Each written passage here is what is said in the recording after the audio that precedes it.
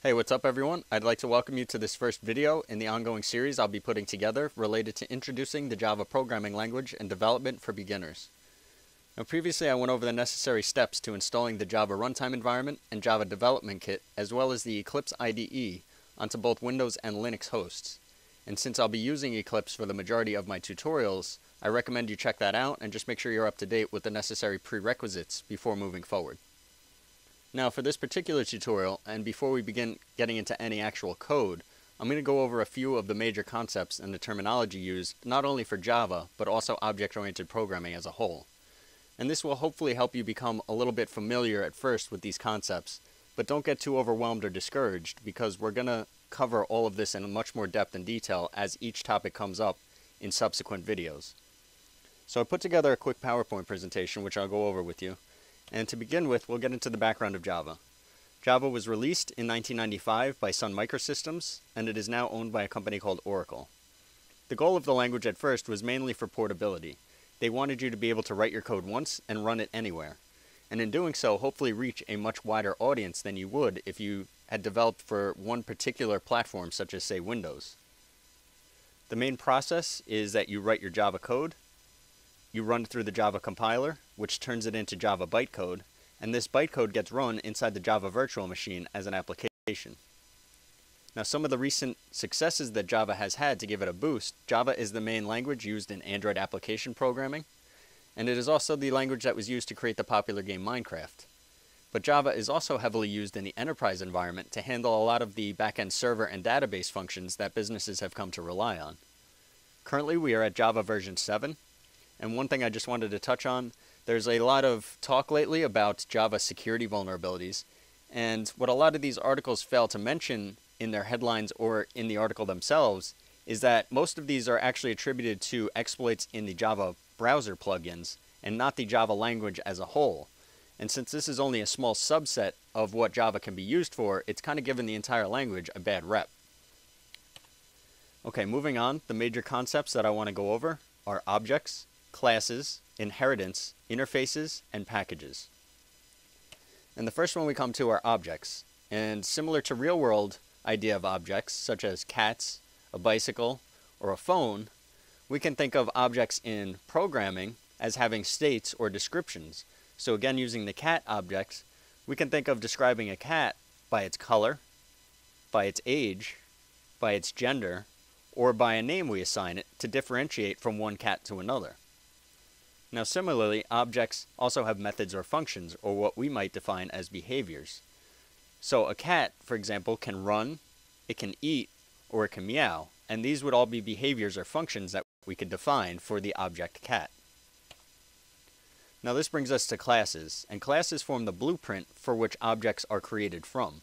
They specify the states or the variables, and the behaviors or the methods for the objects that are created from it. And we can take these classes and inherit from them. And I've designed a little tree here to kind of define this a little better for you.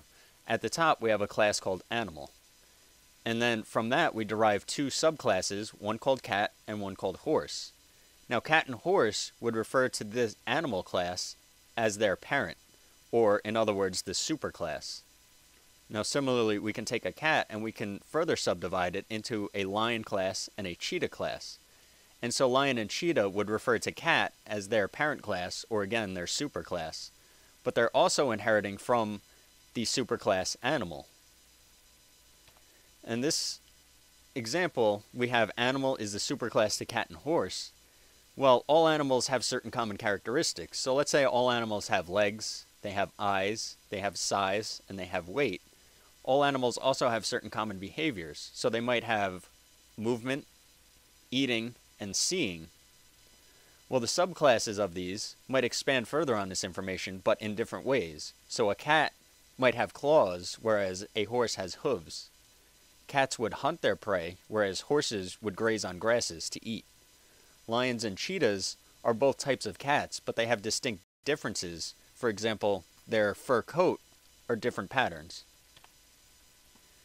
Now we have interfaces, and an interface helps us to enforce specific criteria for a given class or a series of inherited classes.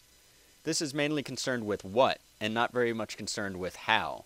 So, for example, if we have a bicycle class, but we want to make this an interface, so we have a bicycle interface, and we want to say that any bicycle class that we make from this should be able to exhibit these following methods.